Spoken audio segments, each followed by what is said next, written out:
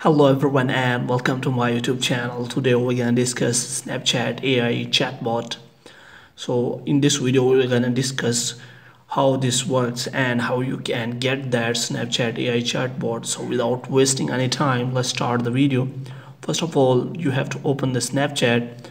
After opening the Snapchat, what you have to do, you have to simply click on the profile after that if you click on here snapchat plus then you can easily find the first feature in the snapchat plus is my ai so if you want to explore more about uh, snapchat ai chatbot then you can open the list of snapchat feature, uh, plus features and you can simply click on my ai and in this uh, section they will tell you how my ai works this feature is only available to snapchat plus subscriber which means you if you subscribe to snapchat plus then you can get that.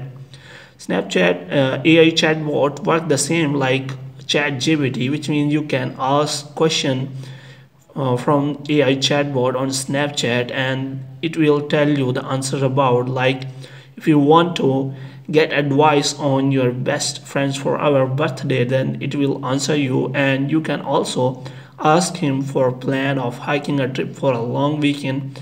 In this way you can ask any uh, kind of question and it will answer you. Moreover they will uh, tell you how long your interaction stored which means if you have chat with uh, chat ai then how much time it will be stored.